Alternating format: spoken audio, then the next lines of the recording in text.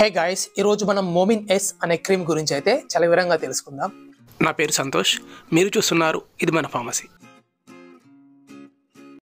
ఇందులో ఉండే కాంపోజిషన్ మొమెటసోన్ మరియు సాల్సిలిక్ యాసిడ్ దీని ధర అరవై ఆరు రూపాయలు. దీనిని యూటీఎల్ మార్కెటింగ్ చేస్తూ ఉంటుంది. ఇది ఒక కార్టికోస్టిరాయిడ్ కాంబినేషన్ క్రీమ్ ఈ మెడికేషన్ ఏ విధంగా పనిచేస్తుందంటే మన శరీరంలో ఇన్ఫ్లమేషన్ కలిగించే కెమికల్ని ప్రివెంట్ చేసి ఇన్ఫ్లమేషన్ ర్యాషెస్ రాకుండా ఆపుతుంది. సాలిసిలిక్ యాసిడ్ ఏ విధంగా పనిచేస్తుందంటే చనిపోయిన చర్మ కణాలను తీసేసి చర్మాన్ని మృదువుగా చేస్తుంది. దీని యొక్క ఉపయోగాన్ని మనం గమనించినట్లయితే దీనిని శరీరంపై వచ్చే బ్యాక్టీరియల్ మరియు ఫంగల్ ఇన్ఫెక్షన్స్ తగ్గించడం కోసం ఉపయోగిస్తూ ఉంటారు.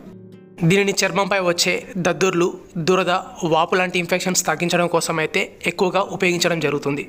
డాక్టర్ గారి సలహాతో మాత్రమే ఈ క్రీమ్ని ఫేస్కి అప్లై చేయవలసి ఉంటుంది. దీని యొక్క ఉపయోగాలు మనం గమనించినట్లయితే ఎగ్జిమా డెర్మటైటిస్ సోరియాసిస్ ట్రీట్మెంట్లో మరియు ఇచ్చింగ్ని కలిగించే ప్రోటోజోవల్ ఇన్ఫెక్షన్ని తగ్గించడం కోసం కూడా ఈ క్రీమ్ని ఉపయోగిస్తూ ఉంటారు. దురద వల్ల వచ్చే వాపు నొప్పి ఎరుపుదనం కోసం కూడా ఈ క్రీమ్ని ఉపయోగించవచ్చు. ఫంగల్ ఇన్ఫెక్షన్ కారణంగా అరచేతులపై కాలి వేళ్ళపై పొరలు పొరలుగా ఊడే చర్మ సమస్యల్ని తగ్గించేందుకు ఈ క్రీమ్ని అయితే ఉపయోగిస్తుంటారు ఈ మెడిసిన్ వాడిన చాలా తక్కువ మందిలో మాత్రమే ఈ సైడ్ ఎఫెక్ట్స్ మనం గమనించవచ్చు. క్రీమ్ రాసిన చోట మంట మండినట్టుగా ఉండడం మరియు చిరాకుగా అనిపించడం దురద రావడం చర్మం ఎర్రగా మారడం.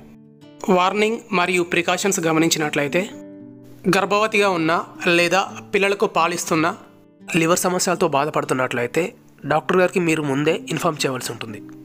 ఈ క్రీమ్ని ఏ ఏ కండిషన్లో ఉపయోగించకూడదంటే పగిలిన చర్మంపై గాయంపై పుండు పైన కూడా అస్సలు అప్లై చేయకూడదు. ఇమ్యూనిటీ సిస్టమ్ ప్రాబ్లమ్స్ ఉన్నా చక్కెర వ్యాధి ఉన్నా ఈ మెడిసిన్ వాడకపోవడం మంచిది. ఈ క్రీమ్ని ఎలా ఎప్పుడు అప్లై చేయాలంటే ఈ క్రీమ్ని అప్లై చేసుకోవడానికి ముందు స్నానం చేసి పొడిగా చర్మాన్ని తుడుచుకోవాల్సి ఉంటుంది. తర్వాత ఈ క్రీమ్ని అప్లై చేయవలసి ఉంటుంది. ఇదే విధంగా రోజుకు రెండుసార్లు అప్లై చేయవలసి ఉంటుంది. Morning and evening. ఈ విధంగా రెండు వారాలు లేదా అంతకన్నా ఎక్కువ రోజులు కూడా డాక్టర్ గారి సలహాతో మీరు ఈ క్రీమ్ని ఉపయోగించవచ్చు. ఇన్ఫెక్షన్ తగ్గిన తర్వాత కూడా కొన్ని రోజుల వరకు ఈ క్రీమ్ని అప్లై చేసి మానేయవలసి ఉంటుంది. ఈ క్రీమ్ని అప్లై చేసిన తర్వాత చేతులని శుభ్రంగా కట్టుకోవాల్సి ఉంటుంది.